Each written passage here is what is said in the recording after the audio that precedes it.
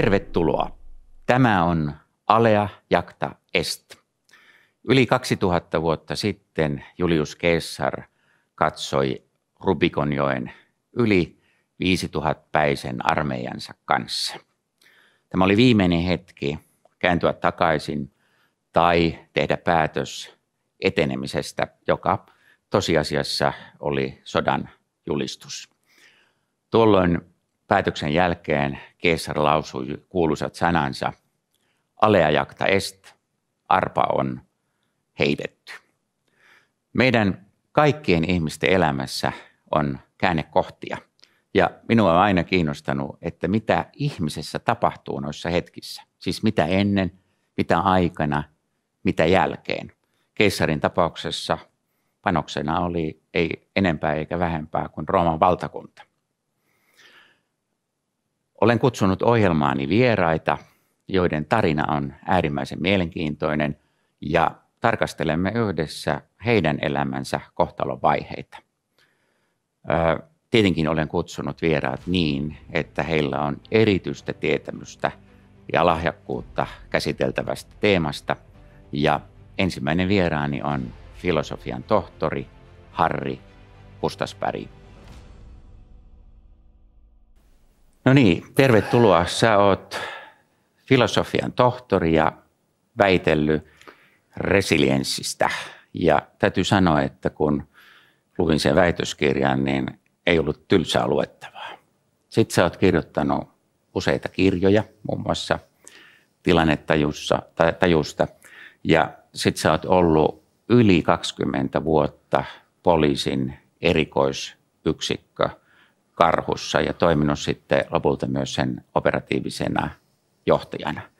Siis karhuyksikkö katsojille tiedoksi niin tekee erikoisoperaatioita, se on erikoiskoulutettu ja siellä on erikoisvarusteet. Sitten mielenkiintoinen pikantti yksityiskohta, sä oot toiminut voimankäytön valmentajana, josta myös vähän keskustellaan tänään. Ja sitten äh, luennoit paljon, valmennat paljon ja sulla on menestyviä yrityksiä. Hieno vieras tänään. Tota, ää, miten ihmeessä pikku Harrista tuli poliisi? Niin, se taisi, mä en tiedä, isällähän kävi siis, isä oli urheilija mm. ja sitten meillä kävi aina syksyisin poliiseja metsästämässä. Me metsästettiin, sitten mä olin pikkupoikana niiden mukana ja nämä, nämä entiset huippurheilijat oli, oli silloin poliiseja ja sitten minä pikkupoikana kuuntelin varmaan niitä tarinoita siellä metsäkämpillä. Silloin Lapissa oli muuten maalintuja aika paljon, mm. niin tota, kuuntelin varmaan niitä tarinoita ja en tiedä, olisiko sieltä jotenkin syöpynyt mieleen se, että, että, että olisi tota, kiva olla poliisi. Ja sitten kun mä olin, olin tota armeijan jälkeen, opiskelin piirtäjäksi Rovaniemellä, niin sitten mä olin tota, yhdellä kahvitunnilla, kahvitunnilla Aukosin Lapin kanssa ja siinä oli, että tule poliisiksi, niin se oli niin kuin näin, että no nyt, nyt haen sinne ja, sit, ja sitä kautta se tuli. Mitä aikaa silloin elettiin? 80-luvun loppua jo. Mm. Viittasit isäsi, niin oliko hän siis myös huippuurheilija? Joo, aikanaan mm. oli kyllä. Mm. kyllä. Mikä se kodin merkitys ja roolimalli on ollut sun tapauksessa? Että mikä on se mentaalinen malli tai, tai se perintö, lekasi, minkä sä oot sieltä saanut? Kyllähän kasvatuksella ja kodillahan on, on ihmisen identiteetin, tarinan kehittymisen ja, ja se, että miten me kasvetaan ihmisenä, sillä on siis merkitystä. Se luo semmoisen pohjan, ensimmäiset vuodet ja se lapsuusaika, niin se luo luo pohjan sille, että mink, miten sä pääset rakentamaan sinun elämääsi. Sehän ei ole koko totuus, että, että kyllä aikuinen ihminen voi muuttaa itseään ja persoonallisuutta ja, ja tietyllä, tavalla, tietyllä tavalla sitä elämäänsä mihin suuntaan vaan, mutta, mutta se on semmoinen pohja, minkä päälle rakennetaan se, ja tärkeänä se siinä on se emotionaalinen resonanssi. Se, että, että lapsi saa semmoista hyväksyntää ja lapsi kokee turvallisuutta ja, ja ne, ne on tärkeitä asioita. Miten sä olet äidiltä, no niin kuin kodin perintönä? No varmaan, varmaan siis sekä että hyväksyntää ja, ja tämmöistä, tämmöistä tuota, mulla oli hyvä lapsuus. No hyvin varhain sun henkilöhistoriassa, niin sä niin kun pääsit tai hakeudut karhuryhmään, niin se on kiinnostavaa. Kerro siitä. Niin, sehän on ollut merkittävä hetki sun elämässä. Joo, en mä hakeutunut sinne, vaan, vaan tota, kun mä olin, mä olin nuori, nuori poika ja olin jo pitkään harrastanut kamppailulajeja. Ja meillä oli, meillä oli tuota poliisikoululla tämmöinen leiri, viikonloppuleiri, missä oli valmiusyksikkö Karhun kundeja vetämässä sitä leiriä. Niin tota, sitten minua pyydettiin, että kiinnostaisiko. Ja minun ystävää pyydettiin, että kiinnostaisiko tulla. Sitten mä sitten, no emme oikeastaan tiedetä, mikä se on se yksikkö. Ja sitten kun meille vähän esiteltiin, että mitä kaikkia tehdään, näytettiin tietenkin valokuvia ja se oli sen aikainen rekrytointiprojekti. Ja sitten mä muistan, kun mä kävin haastattelussa, missä oli muuten poliisiylijohtaja Seppo Kolehmainen, tuota, nykyinen poliisi. Sepolle. Joo, terveisiä Sepolla, niin, niin hän oli toinen haastattelija, sitten toinen taisi olla Höökin Pekka. Pekka taitaa olla eläkkeellä nykyään, niin, niin, niin, niin se oli semmoinen hauska yksityiskohta. Joo, mä pääsin aika nuorena sinne kyllä, että mä olin ollut periaatteessa niin vuoden poliisina vasta. Mm. Ja sitten mä pääsin sinne yksikköön. Sinnehän ei silloinkaan hypätty nuin vaan, että oli tämmöisiä kokeilasaikoja ja sä olit, mm. sä et ollut ryhmän vakituinen jäsen ennen kuin tietyt jutut oli täyttynyt, kurssit käyty ja treenattu tietyllä tavalla. Sun ää, se pyytäminen karhuryhmään, niin se on ollut sun elämän yksi ja suuria käännekohtia. Se on ollut mulle tämmöinen elämän oppikoulu. Mm. Se on ollut mulle elämän, elämän tämmöinen mm. akateemia, mm. tämmöinen yliopisto. Mm. Ja mä sen myötä kiersin siis ympäri maailmaa. Mm. Mä oon mm. käynyt, käynyt ympäri ämpäri. Mm. Se, on ollut, se on ollut minun intohimo, tiedätkö, tämä mm. erikoisyksikkötyö, ja se on vienyt mm. minun elämästä suuren osan. Mm siis parhaimmat nuoruusvuoteni olen mm. antanut sinne mm. ja, ja kaikella fokuksella vienyt sitä eteenpäin ja, ja olen, olen tota, hoitanut satoja keikkoja. Mä oon elänyt sen elämän. Mä voin, voin niin ylpeänä seisoa sen takana, eikä sitä kukaan multa vie pois. Ja se on sen arvosta. Se on ollut sen arvosta. Mm. Kyllä on ollut jo, näin mä uskon. Mm. Tuossa taustalla on äh, poliisikoira – sun tuossa takapuolella. Niin Joo. Minkäs niminen koira tuo on? Se oli Epi. Ah, tämä on Epi. Joo. Hyvin pitkäaikainen koira. Joo, minun poika ei osannut puhua, kun meille tämä pentu tuli siis mm. kahdeksan viikkosena. Mm. Hän otti tutin pois suusta mm. ja sitten sanoi, että Epi. Mm. Sitten mä, mikä? Epi. sitten, sit, no niin, siitä tuli Epi. Joo. Mm. Suomessa on 700 000 koiraa ja vajaa 200 000 metsästyskoiraa ja nyt kun itsellänikin sattuu olemaan kolme metsästyskoiraa, niin, niin, niin me voi olla kysymättä, että minkälainen yhteys syntyy sen ohjattavan koiran kanssa? Niin se yhteys on siis, sitä on vaikea kuvata silloin kun, silloin kun sä teet, koulutat koiraa, se asuu sinun kotona perheessä, se on sinun lasten paras kaveri, se on lastensuojelija ja, ja se, se ymmärtää siis elämää kotona ja sitten se on töissä. Se säästää sinun kollegojen henkiä tai terveyttä tai sinun henkeä tai terveyttä ja, ja tota, ja sit se, sä elät sen koiran kanssa koko ajan. Se on sulla kaikkialla mukana, paitsi ei tietenkään lomalla. Et silloin jos matkustaan ulkomaalle lomalle, niin silloin koira jäi, jäi tota yleensä hoitoon, mutta poliisikoirilaitokselle tai jonnekin hoitolaan.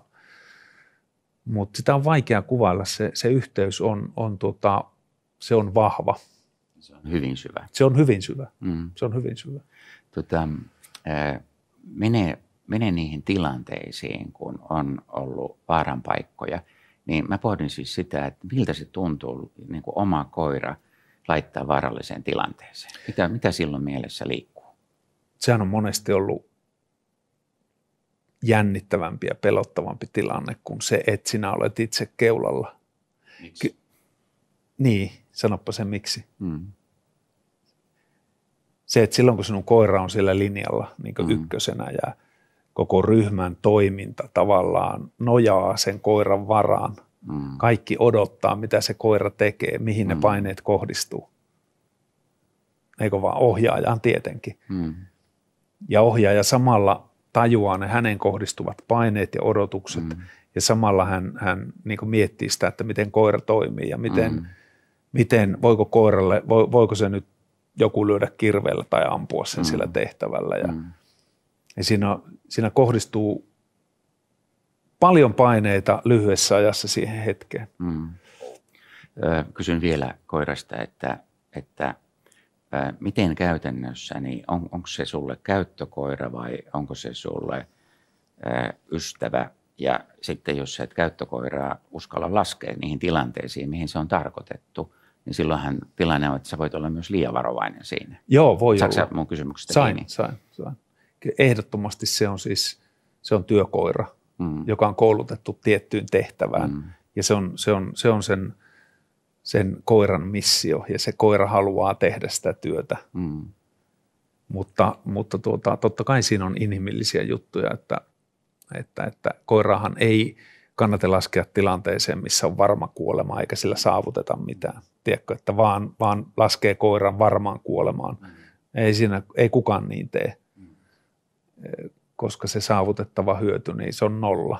Mutta, mutta jos se mahdollisuus, on, että se pelastaa jonkun ihmisen hengen, vaikkapa sen, tiedätkö, kiinni otettavan hengen, niin että sitä ei tarvitse ampua aseella, Mm. niin sehän on voiman käyt, käyttönä niin kuin paljon inhimillisempi. Mm.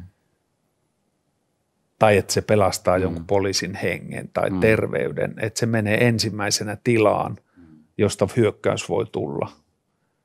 Niin, niin totta kai sen, se tämmöinen moraalinen oikeutus käyttää koiraa, niin se on muuten tärkeä asia yleensäkin elämässä, niin kun tehdään, tehdään vaativia juttuja, tehdään semmoisia asioita, missä hetkessä kaikki voi mennä pieleen, niin semmoinen,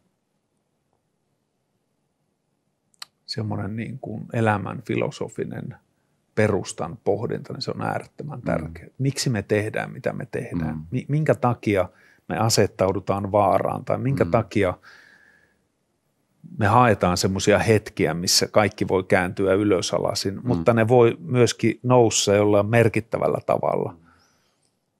Se on hyvin tietoisia ja niin kuin ennakkoon pohdittuja. Pitäisi olla, Mm. mm. tai näin mä nykyään suosittelen, että, että jos, jos, jos tuota, ihmiset haluaa parempaa suorituskykyä vaativiin Mm. mm. tilanteisiin, niin koko se juttu alkaa siitä Mm. tämmöisen merkityksen ja moraalin ja etikan pohtimisesta. Mm. Sä oot toiminut operatiivisena johtajana.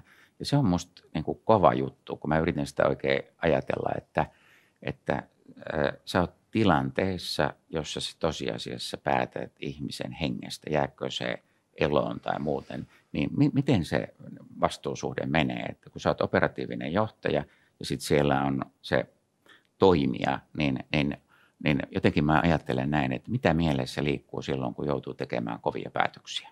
Operatiivinen johtaminen yksikössähän tarkoittaa vain sitä, että, että jos tiimeillä on, jokaisella tiimillä on oma johtaja ja silloin jos operaatiossa on vaikka kaksi tiimiä, Mm, niin silloin niitä pitää johtaa joku kolmas mm. henkilö. mm, Että koska ryhmänjohtajat johtaa ryhmiä, mm, niin sitten, sitten tätä pumppua pitää johtaa joku. Ja se, se vaan on operatiivinen Mm. johtaja. Ja, ja itse asiassa kyllähän, kyllähän tuossa poliisin päätöksenteossa menee niin, että, että siellä, on, siellä on aina yleisjohtaja, mm, joka on sen alueen siis, joka johtaa yleistä, yleistä poliisitoimintaa siellä. Ja, ja näissä operaatioissa sitten, niin siellä on tilante, tilannejohtajat siellä paikalla ja sen tilannejohdon alla voi olla koko erikoisyksikkö. mm, Siellä voi olla niin vaikka kymmeniä Mm. miehiä, monia ryhmiä ja Mm. operatiivinen johto on yleensä tilannejohdon alla ja tilannejohto on yleensä sitten vielä alistettu sille tämmöiselle niin kuin yleisjohdolle. Eli se on erittäin hyvin organisoitu, järjestetty Kyllä. ne vastuusuhteet.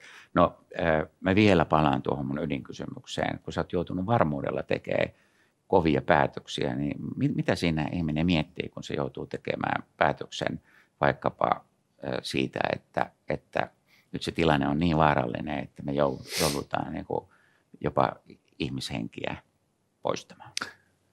Se on jännä juttu, että, että, että ne on hyvin erilaisia, ne hetket. Et on olemassa hetkiä, että päätöksiä tehdään niin, että, että tavallaan se on tietoisuuden ulkopuolella. Vaikka, vaikka aina sanottaisiin, että kaikki päätökset on hyvin, hyvin harkittuja – se voi näyttää siltä, mutta, mutta näin ei aina olla. Mm. Et siellä hetkessä, siellä varsinkin, mm. varsinkin, että vedätkö liipasinta vai et. Jos sä olet siinä, tiedätkö, siinä hetkessä, katot periaatteessa sitä kuolemaa silmään, niin ne päätökset voi olla semmoisia, että sä vasta jälkeenpäin tajuat, että, että, että nyt on vedetty liipasimesta tai ei. Mm. Ja siinä hetkessä toimitaan toimitaan, eikä mm. ihminen tavallaan, se tietoisuus ei tavallaan sillä lailla ohjaa mm. sitä hetkeä. Mm.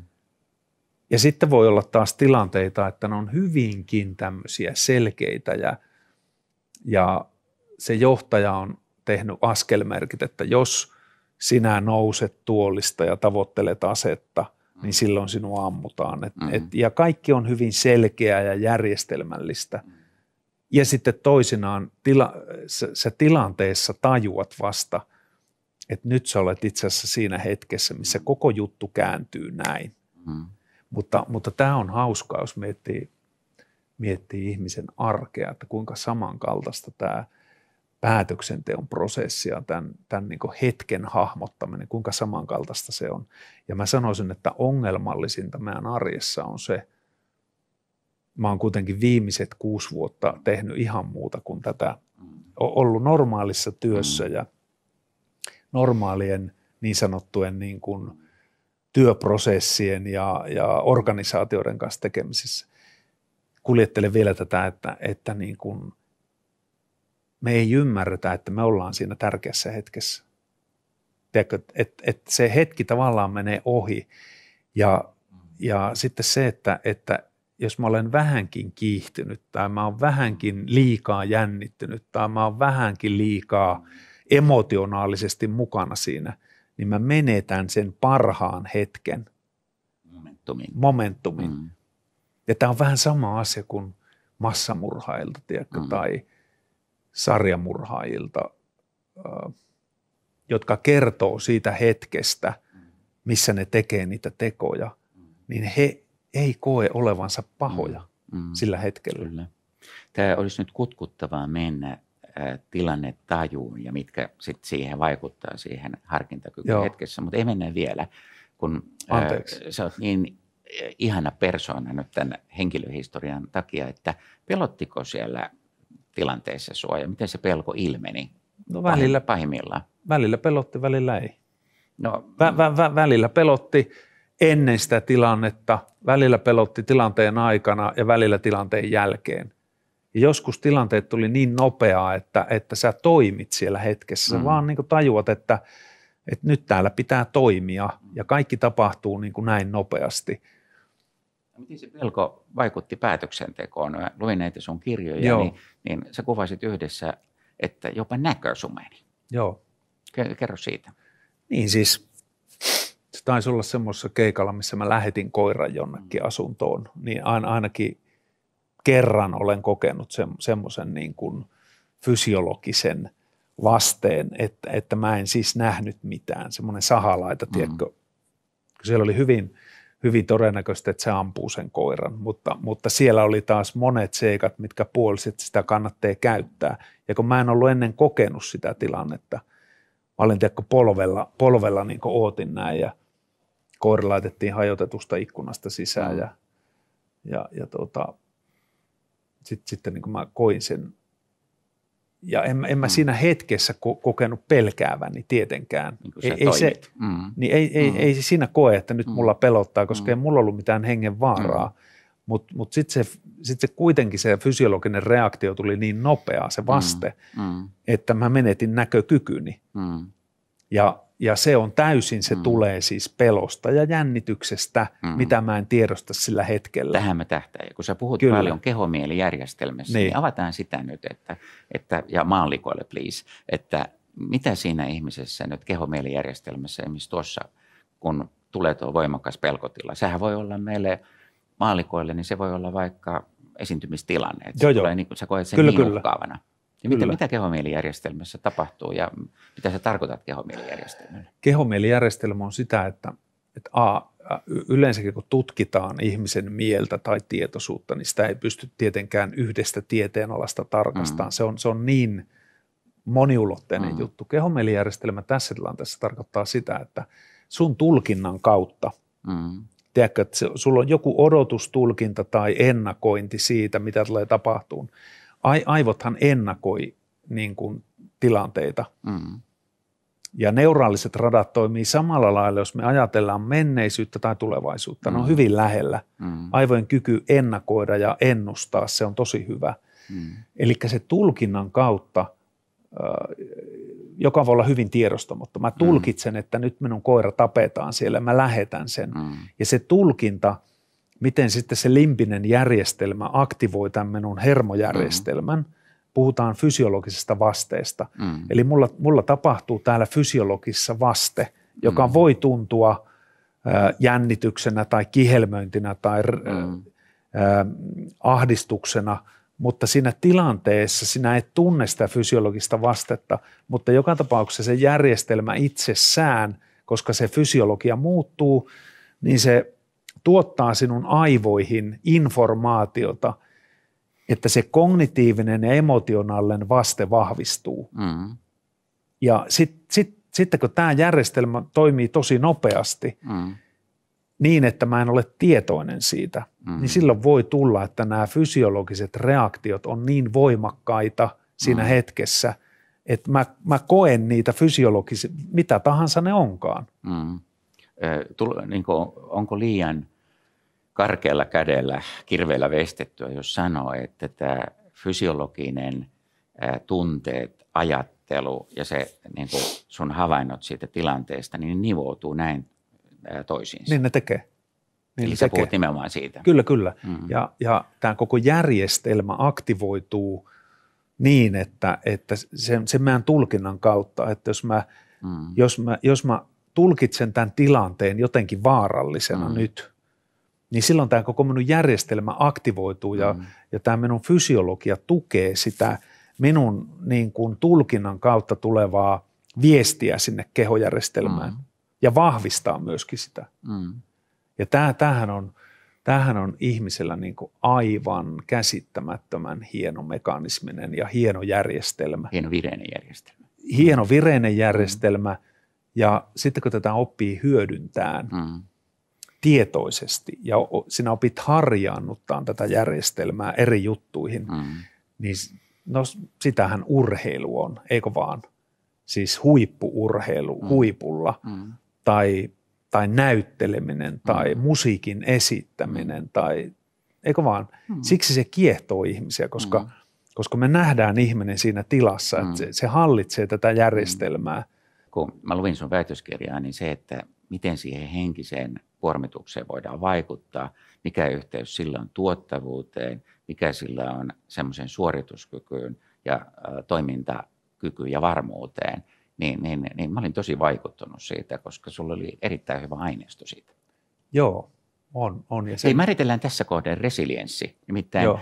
se sana vilahti jo tuolla aikaisemmin ja mä menin tuota, tuonne ATK-internettiin, niin, niin äh, on muuten paljon määritelmiä, niin, niin, niin työskentelymääritelmä, mitä Hari Kustaspäri käyttää resilienssistä.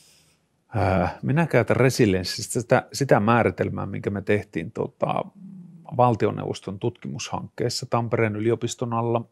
Ja me löydettiin sille määritelmälle seuraavanlaiset määreet. Nyt korva tarkkana. Eli ensimmäinen kohta, resilienssihan on siis henkistä suorituskykyä, se on mm. henkistä sitä mm. voimavaraa. Ensimmäinen, ensimmäinen määritelmä on se, että meillä on voimaa ja sitkeyttä. Mm. Eli henkinen suorituskykyhän tulee silloin esille, kun sinä käytät sitä voimaa, rohkeutta, sitkeyttä, mm. vastustaa jotain, mitä pitää vastustaa. Se voi olla vaikka, sinä sanot ei. Mm. Minä pyydän sinut, että lähdetään viikonloppuna juomaan vodkaa. Ei. Niin, niin sinä sanot, että en lähde. Mm. Sulla on mm. maanantaina pitää olla iskussa mm. töissä. Ja, eikö vaan, se on, se on osoitus henkisestä voimavarasta. Mm. Sitten, sitten kun se tilanne muuttuu tarpeeksi nopeasti, mm. niin silloin meidän pitää joustaa tosi nopeaa. Ta- tajuta, että nyt muuten tilanne muuttuu mm. ja nyt pitää joustaa tämän tilanteen mukaan. Mm. Jatkaa toimintaa, mm. Sopeutua, palautua. Mm. Koska aina, aina kun tilanne muuttuu, niin se myöskin kuormittaa meitä fyysisesti ja henkisesti. Ja siitä se, se joustavuus ja sopeutuvuus edellä, äh, eh, äh, se auttaa meitä palautumaan. Mä en jää henkisesti kiinni siihen, siihen vastustaan sitä, jota ei voi vastustaa. Ja vasta sen jälkeen tulee tämmöinen uudistumisen ja oppimisen vaihe. Mm. Eli näin, näin me määriteltiin sitä. Mm. Mutta se on myös palautumiskykyä. Se on myös palautumiskykyä, mm. mutta ei pelkästään sitä. Joo, kyllä. Tota, puhutaan vähän valmistautumisesta. Niin kuin huomaat, niin me mennään koko ajan tässä teemoissa syömällä ja syvemmällä. Ja tota, ää, mä oikein ää, naureskelin, se aiheutti minussa fyysisen reaktion, kun tuota, kirjassa Karhuryhmä, niin, niin sä täällä kuvaat, että kun sä valmennat tästä teemasta paljon ja luennoit ja selität tätä metodia, niin, niin sä kuulet paljon kommentteja, että meillä tilanteet tulee niin nopeasti, että ei ole aikaa valmistautua. Tai tämmöinen vastaväite, että no miten me voidaan valmistautua johonkin, mitä me emme tiedä tulevan vastaan. Ja sitten sä kirjoitat täällä, että mikäli haluat elää uskossa, että et pysty valmistautumaan, toivon vain, että elämä, ettei elämä aseta sinulle isoja haasteita, vaan olkoon elämäsi polku sileä ja olkoon sinulla hyvä tukijoukko ympärillesi. Amen. Mua on hämmentänyt tämä, että kun yli 60 kirjaa lukenut neuvottelutaidosta ja, ja valtavasti tutkimusta, niin se on aukoton, että mikä on valmistautumisen yhteys lopputulokseen. Niin Joo. sanopa, miksi me ei niin kuin keskimäärin tajuta semmoisen niin kuin oikein maailmanluokan valmistautumisen merkitystä? Kun sä oot tuohon ilmiön ilmiselvästi törmännyt. Niin miten, nyt, nyt pitää mennä siihen, että miten ihmisen, mm. ihminen muodostaa oman todellisuuden. Mm. Siellä on monta, monta tekijää. Mm. Meillä, on, meillä on taipumusta suojella sitä todellisuutta, mikä, minkä mä olen tietoisesti ja tiedostamatto itselleni rakentanut. Ja, ja jos mä oon vaikka koko ikäni tehnyt jotain työtä, sanotaanko 15-20 vuotta, enkä mä koskaan ajatellut, että mä voisin tehdä sitä paremmin vaikka muuttamalla valmistautumisen prosesseja. Mm miten mä valmistaudun mm. siihen tärkeään seuraavaan hetkeen, mm. niin minun on paljon helpompi kieltää se asia. Niin sivuttaa se nopeaa. Mm. Ei pysty, ei kannata. Niin, niin se on, se on tämmöinen niin kuin puhutaan kognitiivisesta vahvistumisvinoumasta. Voiko se olla ihan uskomusjärjestelmän Sitä se onkin. Mm. Sitähän se onkin. Mm. Et se vahvistusvinouma tarkoittaa sitä, että jos mä uskon jonkun asian olevan näin, niin mä haen vaan sitä tietoa, mikä vahvistaa minun uskoa asian olevan näin. Mm. Ja sitten kun joku tulee sanoa, että Harri, että, että uskotko, että tämä juttu menisi paremmin, jos sä kokeilisit tätä, tätä, mm. tätä, niin mun on helpompi sanoa, että ei, niin kuin ei tämmöisen pysty... on tilanteessa. Joo, joo, mm. että, että tuota, näin mm. tulee niin nopeaa meille, että ei me kato pystytä mm. alkaa mitään valmistautumisen prosessia. Niin, mm. niin, että nämä tulee. Mm. Mutta juttu on se, että jos me valmistaudutaan tietoisesti näihin tuleviin haasteisiin, niin silloin kun ne haasteet tulee näin, mitä me yleensä, siis ongelma on arjessa se, tämä, tämä on ehkä kovin pointti tässä, jos me tämän ymmärretään, että arjessa olevat ongelmat tulee näin. Ne tulee aina yllättäen. Mm. Ja, ja meidän, meidän tietoisuuden taso ei pysy mukana niissä – että jos me, jos me valmistautumisen kautta mm. tiettyyn, on, on se mikä tahansa juttu, mm. vaikka skiitin ammunta tai, tai, tai mikä, se voi olla harrastuksessa. Mm. Me opitaan ehdollistaan sitä valmistautumisen prosessia ja me tietoisesti ymmärretään arjesta, hetkinen, nyt, nyt mä olen semmoisessa hetkessä kiinni, että minun pitää olla tarkka, niin se valmistautumisen prosessi auttaa mihin tahansa vaativaan tilanteeseen. Se ratkaisee tosiasiassa sen pelin. Hyvin monesti. Niin, kyllä. Ja, ja, mm. ja kato, kun tämä järjestelmä, kehomielijärjestelmä on nopea. Mm. Tämähän on tosi nopea. Mm. Niin kuinka nopeaa sinä säikähdät? Mm. Mun koira meinasi jäädä viime viikonloppuna auto alle, niin, niin se, se tuli niin kuin sydämeni kurkkuun ja huusin, Joo. Joo. kun mä näin sen tilanteen. Ja se tulee näin. Se tuli niin kuin sekunnin jär... sadasosassa, kyllä, se tapahtui kaikki. Järjestelmä muuttuu näin nopeasti. Mm. Jolloin meidän on siis, meillä on mahdollista käyttää tätä nopeutta hyväksi mm. myös silloin, kun se tilanne tulee täysin yllättäen. Mm. Edellyttää, että me ymmärretään se valmistautumisen prosessi mm. ja me ollaan tehty sitä niin over and over again – mm. niin toistettu sitä prosessia, millä me valmistaudutaan, niin, niin, niin me saadaan se tietoisesti se järjestelmä hanskaan. Niin se laadullistaa sitä. Kyllä. Mm. Esimerkkinä, nämä, nämä ääriesimerkit on aina semmoisia, että ihmiset tykkää kuunnella näitä. Arkiesimerkit on tylsiä. Kerro se, ääriesimerkki. Mä oon sukeltamassa luolassa. Mm. Mä oon käynyt muutamia kertoja laitteilla sukeltamassa luolassa. En ole luolla sukeltaja. Mm mutta olen, olen, mm. mulla on muutama sukelluskokemus luolasta. Ja, ja tuota, mentiin semmoisen parikymmentä metriä pitkän luolan läpi ja sitten opas mm. sanoi siellä pinnalla, että kun me mennään sen läpi, niin se viimeinen aukko on pieni. Mm. Ja kun minä olen iso, mulla on pullot, mm. niin tota, että sinun pitää mennä aivan siellä hiekan rajassa, niin mm. sitä kyllä pääsee. Ei se, mm. se ei ole ahdas.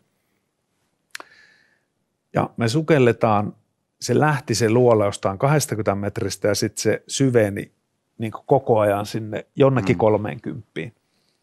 Ja, ja sitten tuota, opas meni edellä, me sukellettiin kahdestaan sinne. Mm.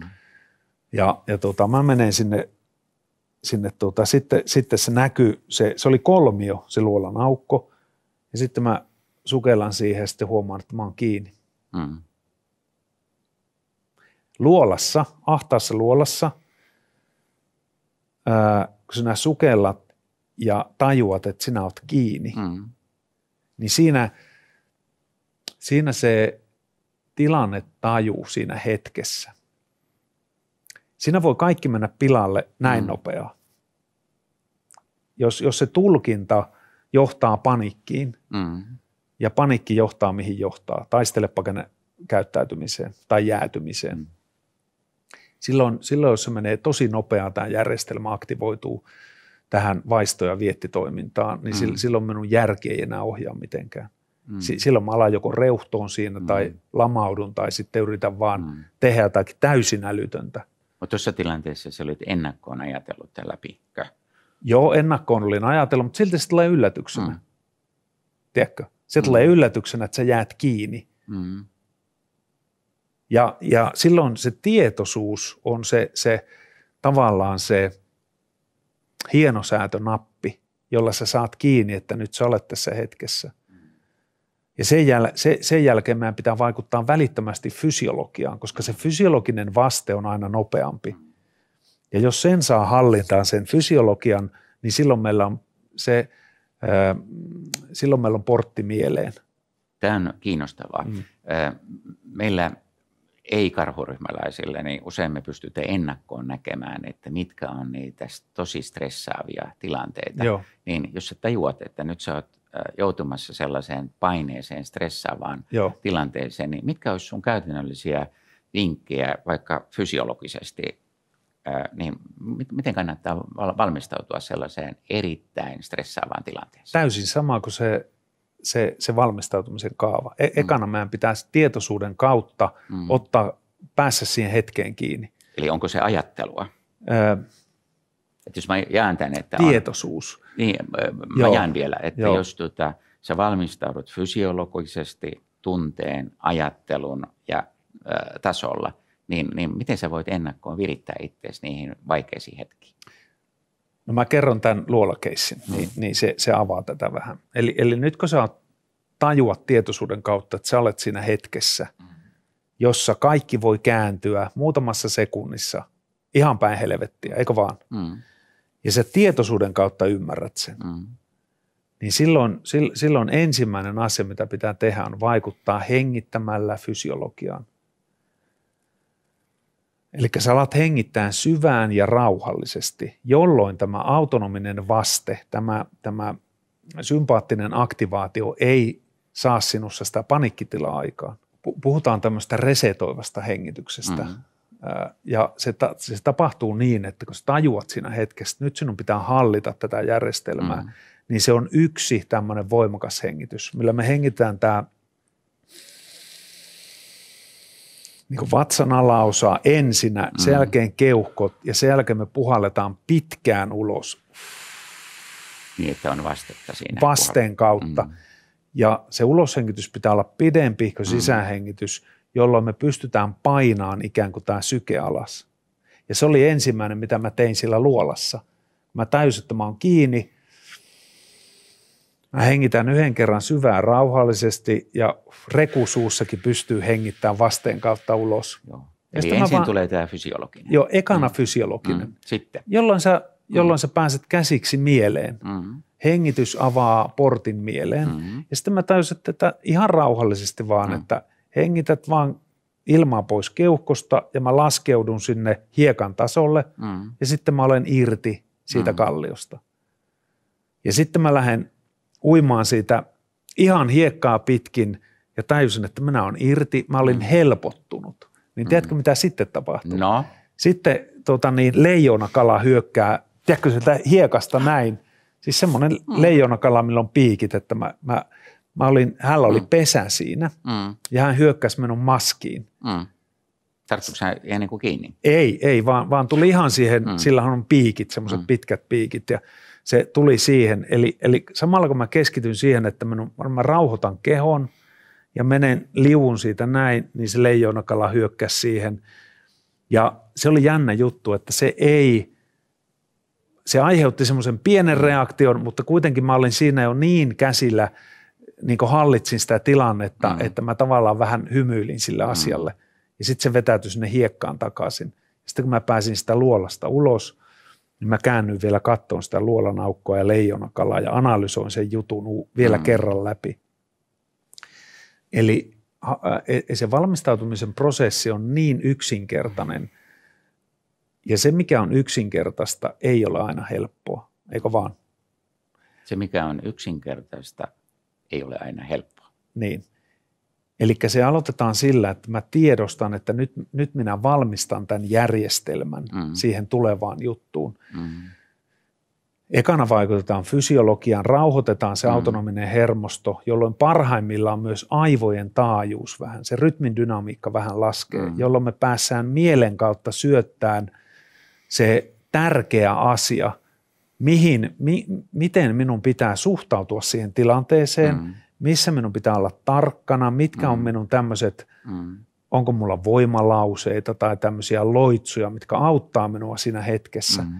Ja sitten vielä vähän ennen sitä hetkeä, niin virittää vielä tämmöinen, puhutaan, me puhutaan tämmöinen grounding, tämmöistä maadottamisesta, mm. että me maadotetaan tämä koko meidän järjestelmä juuri ennen sitä hetkeä. Mm. Ja se voi tapahtua tosi niin kuin hienovaraisesti. Ja tämä, tämä on niin kuin tämä on helposti tehtävissä oleva asia, mutta se, että tätä pitää toistaa päivittäin. Mm. Tätä pitää toistaa niin pitkään, että mm. se on mm. osa sinua. Se on, se on niin osa sinun persoonallisuutta, että näin sinä vaan toimit. Niin, eli nyt kun aikaisemmin hienosti sanoit, että tämä palautuu niihin valmistautumisen prosesseihin, joka suomeksi on käytännöt, niin Joo. sulla pitäisi olla omat käytännöt, Kyllä. miten sä viritä kyllä, kyllä. noihin tilanteisiin. Juuri näin. Tota, entäs äh, niin kuin aistit ja mieli, että jos haluat niin kuin siihen niin kuin erityisesti olla jotenkin niin kuin aistiherkässä tilanteessa, niin on, onko siihen jotain kikkakuutusta, miten tehdä? Sä puhut tuolla supertietoisuuden tilasta. Joo. Niin mistä siinä on kysymys? No se grounding-vaihe, se, se tavallaan se maadottamisen vaihe ennen H-hetkeä, mm. niin siinähän hyödynnetään aisteja ja mm. tietoisuutta. Tiedätkö, että, että istuppa siinä penkillä ja ota tietoisuus siihen, että miltä mm. sinun jaloissa ja kehossa nyt tuntuu. Mm. Eli se on kehotietoisuuden lisäämistä. Kehotietoisuuden. Mitä mm. täällä tilassa kuuluu? Mm. Entä tuoksuu? Miltä täällä tuoksuu? Mm. Sehän on hyvin eh, semmoinen herkkä virittäytymisen vaihe. Mm. Ja, ja tuota, silloin kun me ollaan täysin aistien kautta läsnä siinä todellisuudessa, mm. niin silloin ihminen on suoritukseltaan paras. Mm. Et meitähän pilaa tämä kognitiivinen häly, tämmöinen niin kuin mm. papukaija, joka mm. meidän sisällä puhuu ja ennustaa tulevaisuutta. Mm. Ja me aistien kautta päästään siihen todellisuuteen mm. nopeasti mm. kiinni. Yleensä, jotta ihminen tavallaan niin kuin pääsee tämmöinen supertietoisuuden tai supersuorituksen tilaan, niin siinä on muutama tämmöinen niin kuin keskeinen tekijä. Yksi on se, että se ympäristön vaatimus on, on tiedätkö, että me tulkitaan se ympäristön vaatimus. Nyt mä olen semmoisessa tilanteessa, että mm. minun on pakko, mm. tiedätkö, se voi olla mikä tahansa ympäristön tuottama vaatimus. Mm. Ja sen jälkeen meissä aktivoituu tämän tulkintajärjestelmän kautta, tämä kehomielijärjestelmä aktivoituu eri tämmöiseen moodiin kuin normaalissa rutiinissa. Mm-hmm. Me mennään vähän yli rutiinien ja tapojen, jolloin se meidän syvä keskittymiskyky paranee ja sen jälkeen ihminen tulee vähän niin kuin ulos siitä omasta mm. emotionaalista tunnekokemuksesta. Ja siinä hetkessä me ei olla niin kuin itsessä kiinni, vaan me ollaan siinä suorituksessa ja tehtävässä niin syvällä, että sitten vaan kaikki tulee sieltä parhaimmillaan.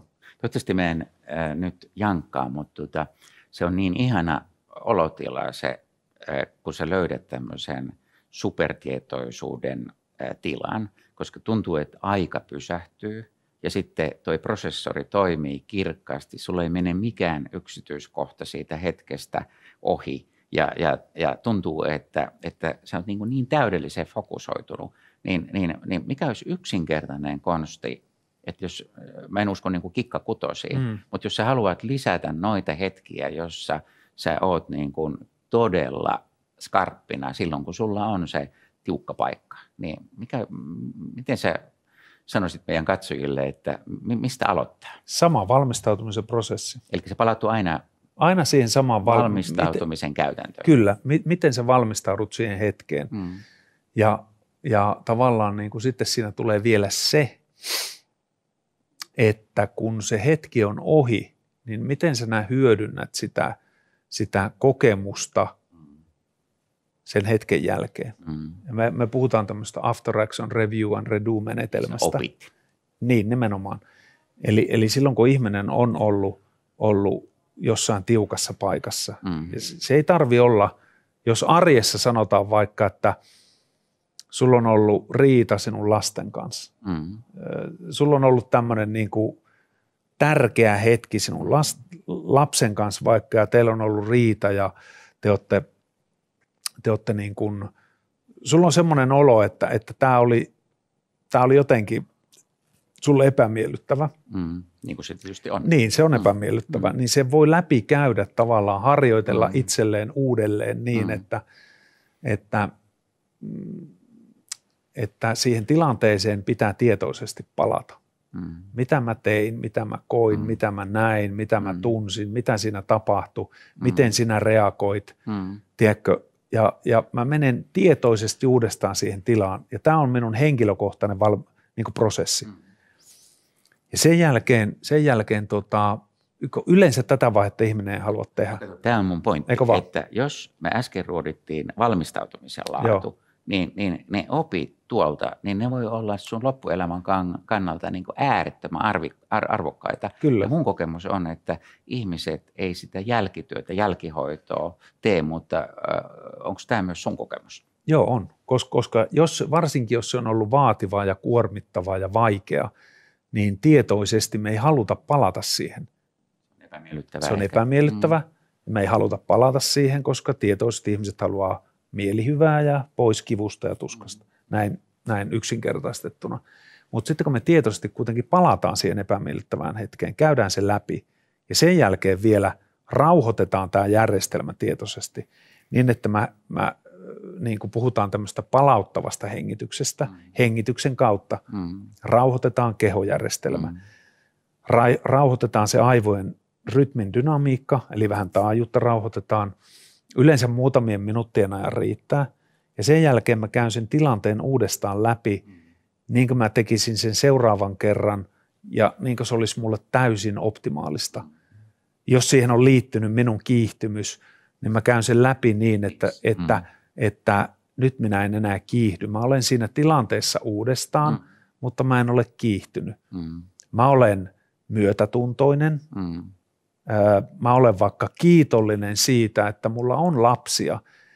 Ja mä olen kiitollinen siitä, että meillä on eri näkemyksiä. Ja mä olen kiitollinen siitä, että mä saan kasvattaa – ja, ja mä juurrutan sitä tänne järjestelmään uudelle, Nyt uudelleen siihen hetkeen. Uudelleen ja mm. huijaan periaatteessa, ohjelmoin, mm. ohjelmoin itseäni uudestaan, mm. jolloin viimeiseksi hermostojäljeksi jää tämä vahvistava ja positiivinen juttu. Ja se on, se on tämmöinen niin kuin ohjelmoinnin ja mm. suorituskyvyn parantamisen ja myöskin kuormituksesta palautumisen kautta – tämä on mielenkiintoinen ja, ja mä oon nyt tätä tehnyt niin paljon, niin monessa eri kontekstissa, mm. että mä tiedän, että tämä on äärettömän mm. tehokasta. Ja, ja, tota, ja tämä on, tää on, tää on helppo ja yksinkertainen tehdä, tätä on helppo alkaa kokeileen ja viedä käytäntöön, koska elämähän on pelkästään, niin kuin sehän tarjoaa meille mahdollisuuksia tähän jopa päivittäin. Mm. Eli se vahvistaa sun palautumista, mutta sen lisäksi vielä opit nopeammin. Kyllä, kyllä. Nyt me on käyty läpi sitä, että mitä ennen ja mitä jälkeen, niin mennään vielä siihen toimintaan tilanteessa. Ja tota, tilannetaju, niin määrittele meille tilannetaju, mitä se on? Se on tietoisuuden ja kompetenssin ja oman kehomielitilan ja sen tilannetekijöiden ja niissä olevien ihmisten tämmöinen kokonaisuus, että sä, sä ymmärrät siinä hetkessä, mistä siinä on kysymys. Se on, se on vaikea määritelmä. Se on, se on, moni asia se, se on niin moniulotteinen mm. asia, että, tiedätkö, että, että mä tajuan samaan aikaan, että missä tilassa minä itse olen. Alanko minä kiihtyä vai en. Ja mä tajuan myös sinun sielun hengitystä. Mm. Tiedätkö, että, että missä tilassa Arto on nyt tässä ja mitä tässä meidän ympärillä nyt tapahtuu ja mihin me ollaan menossa. Ja mm. Se on, se on, se on niin kuin äärettömän tärkeää ymmärtää, että me, me opittaisiin niin kuin, opittais sitä, että niissä tärkeissä hetkissä, mitkä voi kääntää meidän elämää – niin kuin mihin tahansa asentoon. Käännekohdat. Mm. Käännekohdat. Mm. Niin että, että, että miten mä toimin siellä parhaalla mahdollisella tavalla. Mm. No miten tilannetajua voi kehittää? Et jos sä loppuelämässä päätät, että nyt mä lähdin kehittämään mun tilannetajua, niin, niin mitä sä antaisit ohjeeksi? A, tämä, tämä valmistautumisen prosessi ja jälkityön prosessi, mikä liittyy minuun, mm. se on yksi osa sitä. Tietenkin, mutta Eikö itse vaan? siinä tilanteessa? siinä tilanteessa niin, niin tavallaan niin kuin se tulee sen jälkityön kautta. Ideaali on niin, että siinä hetkessä niin tavallaan sinusta, koska, koska meissä on enemmän älykkyyttä ja viisautta, kun, kun me pystytään uskoon, niin, mm. tai päälle näkyy, niin tavallaan, että siinä hetkessä ne olisi käytössä. Mm. Se väylä olisi auki sinne, puhutaan kiilasta. Mm. Tiedostamaton ja tietoisen mielen välissä on kiila ja, ja sympaattisen ja eh, siis autonomisen ja somaattisen hermoston väliin tulee tämmöinen tietty kiila. Eli, eli, eli siinä hetkessä ja siinä tilanteessa – me oltaisiin parhaimmillaan ja me mm. käytettäisiin sitä, mitä meillä on, mm. niin, niin siinä hetkessä äh, sen hetken pitää antaa viedä mm. ja sen hetken pitää antaa kuljettaa, mm. mutta tavallaan miten me parannetaan niitä hetkiä on tietenkin valmistautumalla Mm. ja analysoimalla jälkeenpäin. Niin, mitä siinä oikeasti Mitä siinä tapahtui, oikeasti mitkä oli tapahtui. Ja, Kyllä. Mm, Ja silloinhan siihen voi liittyä joku kompetenssi, Mm. taidon, tiedon osa, eikö vaan? mm. Mihin se riit, liittyy se Nyt hetki? on niin, että siinä hetkessä niin me voidaan tehdä tulkinta virheitä. Eli meillä voi olla, niin kuin, niin, että meillä voi olla niin kuin vinoumia ja harhoja. niin, kyllä. niin, miten se oma havainno- havainnointikykyä siinä hetkessä voi parantaa? No se tulee taas sen oman kehomielijärjestelmän kautta. Aina siihen. Siihen aina palataan, Mm. koska jos sä haluat ymmärtää Mm. itseäsi, tiedätkö, että, että va, vaikka tämä yleinen, yleinen, mikä liittyy vuorovaikutustilanteeseen, tämmöinen kiihtymyksen tila, Mm. että jos mä lähden kiihtyyn nopeasti ja minussa alkaa tämmöinen emotionaalinen ää, niin vaikka vihan tunne tai ärsytyksen tunne niin nousee liian voimakkaana, Pommi- Pommikoneet lähtee liikkeelle. niin, Mm. Niin tavallaan, että, että mä saan siitä tarpeeksi ajoissa kiinni Mm. ja mä saan tarpeeksi ajoissa niin kuin hallintaan ne reaktiot, Mm. jolloin mä pääsen enemmän kiinni sinuun, jos on vuorovaikutustilanteesta kysymys. Koska silloin, jos, mulla, jos minun kehomielitila virittyy syystä tai toisesta, niin mä en pääse kiinni sinun enää. Tiedätkö, tuo myös ihmisille itsetuntemusta, että Se on miten itse- sun impulssikontrolli toimii eri tilanteissa? Se on Eli itsetuntemusta. se on sitä oppimista itsestä. Kyllä, Mm. se on itsetuntemusta ja se on kykyä säädellä Mm. sitä järjestelmää, Mm. jotta mä pysyn siinä sinussa kiinni, jos kysymys on vuorovaikutuksesta. Mm. Eikö vaan? Mm. Silloin, silloin kun ihminen on stressitilassa kiihtyneenä, niin meistä tulee itsekkäitä. Ja, ja, ja Se fokus on itsessä. Fokus on täällä. olla toisissa. niin Mm. on. Tota, Ja tähän liittyy Mm. yksi juttu vielä. Mm. Tämä on vähän vaikeampi ehkä ymmärtää, mutta Kokeile. mä, mä kokeilen. Mutta se, että, se, että, että tota niin, tämmöinen nopean ja hitaan ajattelun rytmittäminen, tämmöinen Mhm. mentaalisen tilan rytmittäminen, ai että se on hankalaa. Koska me, jos, jos me ollaan jossain tilassa, Mm. me mennään johonkin tilaan, vaikka vihan tilaan, ja me ei tajuta sitä, että me ollaan vihassa, niin silloin myöskään minä en pysty rytmittämään sitä omaa ajattelua. Yleensä en pysty rauhoittamaan kesken vihaa. Mm. Yritäpä vihaiselle ihmiselle sanoa, että rauhoitu. Eihän se onnistu. Se pitää antaa se pajatso Niin, tyhjentyä. kyllä. Ja, jo- jolloin tämmöinen äärettömän niin kuin tärkeä taktinen taito. Tämmöisissä vaativissa tilanteissa on, että on kyky ajatella tosi nopeaa jossain vaiheessa. Kyky niin mennä äärettömän nopeaa johonkin tilanteeseen ja tehdä ratkaisuja. Mm.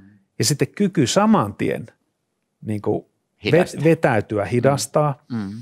ja niin kuin aistia, että mitä tässä ympäristössä alkaa tapahtua, mit, mitä, mitä ehkä seuraavaksi pitää tehdä, jolloin se ajatteluprosessi on erilaista. On kaksi täysin erilaista tapaa ajatella. Siinä hetkessä semmoista niin kuin reagoivaa ajattelua ja päätöksentekoa ja sitten, sitten tämmöistä rauhallista kuuntelua ja, ja tarkkailua ja tämmöistä loogista, rationaalista seuraavan tason ajattelua. Onko tuo myös rytmitajua? Se on rytmitajua. Mm. Se on rytmitajua, kyllä. Mikä tuommoisessa niin tilannetajussa on tämmöisen eh, nonverbaalisen viestinnän merkitys? Kun Sehän sä on, luet sitä tilannetta toisesta, Joo. sinä nyt minua. totta kai siis se, ne, se kehon kieli kertoo sinun aikomuksista ja tunteista. Mm. Se on yksi, yksi tämmöinen ö, merkki, millä me analysoidaan toista ja ennustetaan sinun Mm. käyttäytymistä, eikö vaan? Mm. Ja sehän tulee monesti aika tie, tiedostamatta. Niin se on alitajuinen. Se on, se on aika monesti alitajusta, että, Mm. että, että, i- että siihen ihminen on rakentunut tässä evoluution myötä, että, että me kyllä tosi nopeaa niin kuin Mm. löydetään semmoisia merkkejä, varsinkin mitkä liittyy vihaan ja aggressioon ja tämmöiseen. Niin, Niin me herkistytään. niille joo, me herkistytään mm. niille he, Mm. helposti. Mm. Mikä on intuition merkitys? Että mekin sun kanssa on tähän hetkeen valmistauduttu yli 50 vuotta ja meidän intuitio kertoo jotakin meille hetkistä. Se on her, Mm. joo, intuitio on tämmöinen herkkä viestijärjestelmä. Mm. Eikä vaan se kertoo meille jotain asioita ja Astaraami puhuu kokemusintuitiosta. Se on yksi osa intuitiota. Mm. Meillä on kokemusta jostain tilanteesta, Mm. niin silloin se intuition viesti on vahvempi. Voiko se- intuitioon luottaa? Joskus voi, joskus ei. Eli sillä on virhelähteensä, niin kuin varmaan tällä Kaikilla. Niin, ja niin kuin Mm. vaikka, vaikka loogis-rationaalisella ajattelulla, eikö, Mm. eikö vaan? Mm. Intuitiosta vielä se, että, että äärettömän tärkeää on, on ymmärtää se, että, että intuitio voi olla väärä. Se ensivaikutelma, joka syntyy ihmisten välillä, se voi olla väärä. Tai, Se usein on. jo, ja, Mm. tai sitten niin, että se ensivaikutelma ää, voi jäädä päälle, Mm. koska se on, se on siis se emotionaalinen resonanssi, mikä sinusta minulle syntyy. Mm.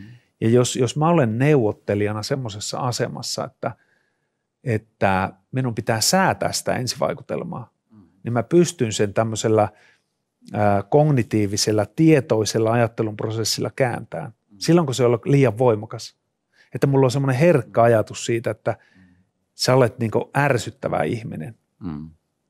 Niin minun kannattaa ottaa se tietoisuuden kautta hanskaan ja kääntää se tietoisesti, että, että et ole. Mm. Et sinä ole ärsyttävä Mm. ihminen, vaan, vaan tota, Mm. Sä olet varmasti aika sympaattinen mm. ihminen. Tuohan voi olla inhimillisesti vaikeaa aloittaa nollalta, jos joku on joskus vaikka kusettanut sinua. Se Niin vaatii onkin. siis pinnistelyä Niin ja on. ponnistelua ja aika tietoista prosessia. Mutta tämmöisiä tutkimuksia on tehty, että on, on näytetty ihmisille kuvia. Mm.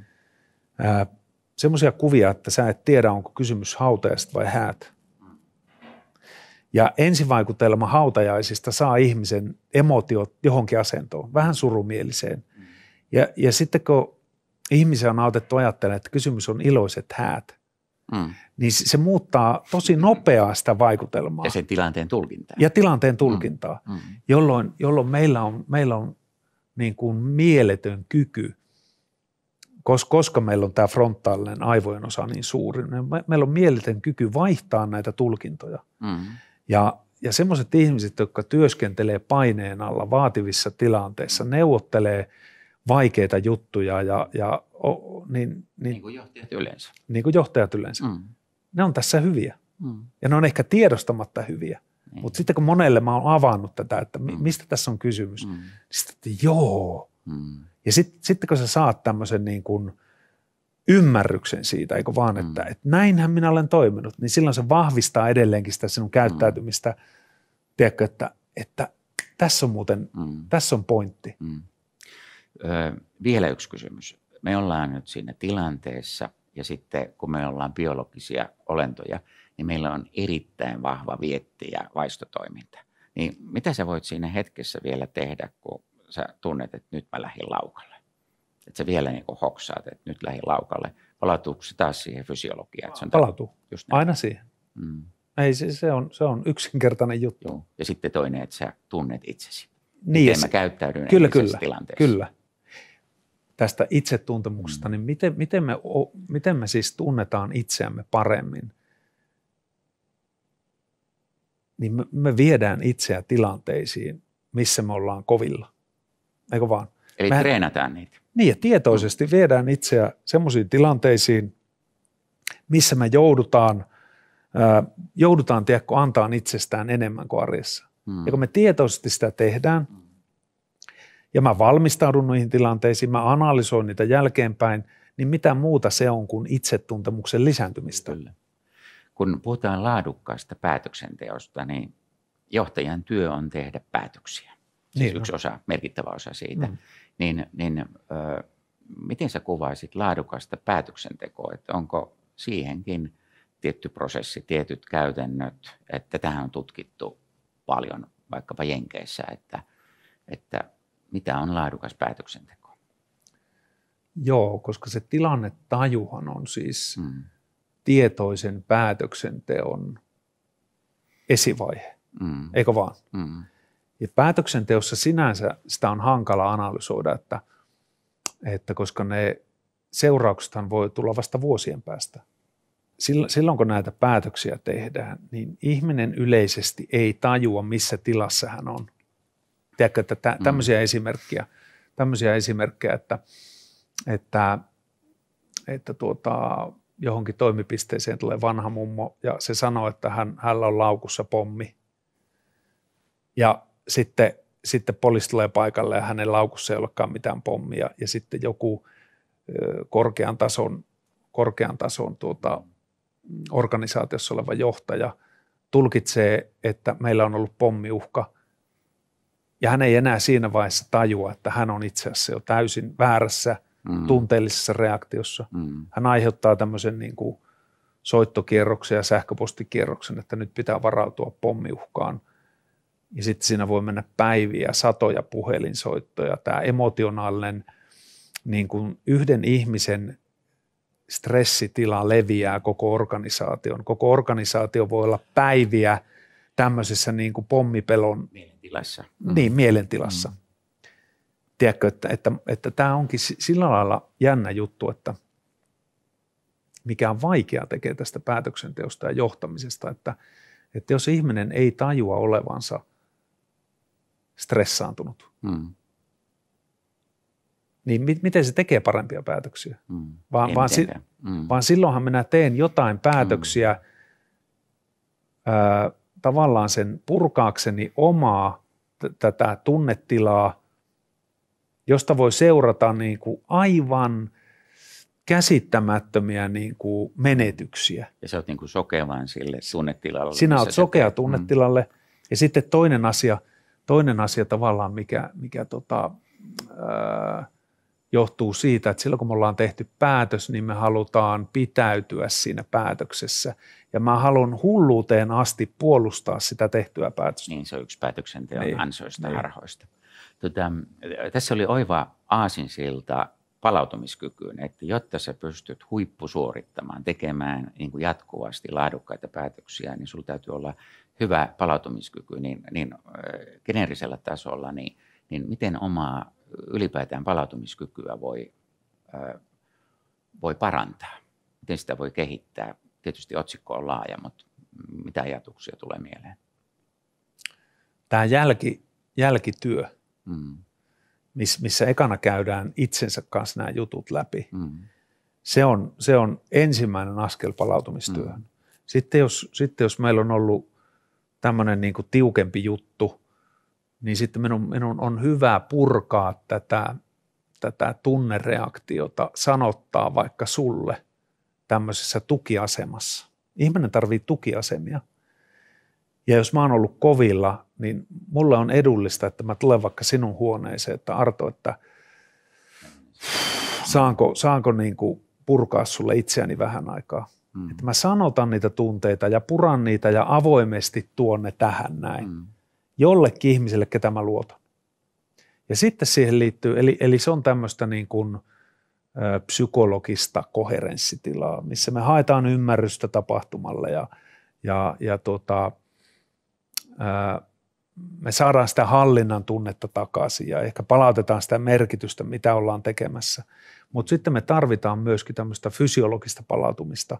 Silloin, jos kuorma on tullut kognitiivisesta kuormituksesta, eli tietotyöstä, me tehdään mm. päivittäin paljon etätyötä – mieliväsyy, mieliväsyy mm. niin silloin sitä kannattaa purkaa ja palauttaa fysiologian kautta. Mm. Tai samoin tämmöiset niin kuin emotionaaliset ää, kuormitustilat, tämmöinen niin kuin pelon ja jännityksen ja tämmöisen käsittely, niin fysiologia on hyvä tapa, mm. koska se tila aiheuttaa meille hormonaalisen ja hermostollisen muutoksen. Mm. Eli meistä tulee hyviä taisteleen tai pakeneen. Mm. Ja jos mä oon siinä tilassa – niin silloin minun kannattaa käyttää sitä polttoainetta vaikka kävelylenkille tai käydä salilla tai uimassa tai pelata jotain jalkapalloa, johon sitten voi liittyä vielä sosiaalinen tämmöinen tuki. Eli se on aika monessa tasossa tämä palautumisen prosessi. Ja sitten viimeisenä tulee tietenkin se laadukas uni. Kyllä, kyllä. On tullut paljon hyviä käytännöllisiä vinkkejä meille. Sulla on komea karjääri, niin mitäs Harri seuraavaksi elämässä? Mä tuota, jatkan kirjojen kirjoittamista ja tutkimu, tutkimustyön tekemistä. Mm. Mä teen, teen tuota silleen, silleen tuota, yrittäjänä ei pysty ihan sitä tutkimustyötä tekemään kovin paljon, mutta mä olen siinä kiinni kuitenkin vähän. Se on mulle tärkeää. Ja sitten yrit, yrittäjänä, niin tässähän on koko ajan, joka päivä on uudet haasteet. Joka mm. päivä, päivä alkaa uudestaan ja, mm. ja, ja mä haluan tavallaan niin löytää hyviä yhteistyötahoja, jotta mä tätä asiaa, mihin mä olen perehtynyt ja mä haluan perehtyä tähän vielä vielä mm. enemmän, niin mä, mä löydän sitä, sitä hyvää tukiverkostoa ja, ja ihmisiä, ketkä voi minua auttaa tässä minun työssä. Mm. Ja sitten totta kai mä haluan löytää yhteisöjä, että se mitä mä tiedän, niin mä voin mm. hyödyntää niitä. Mm. Eli etenet valitsemallasi polulla. Kyllä eten. Harri Kustaspäri, mikä on elämän tarkoitus? Elämän tarkoitus on kasvaa ihminen.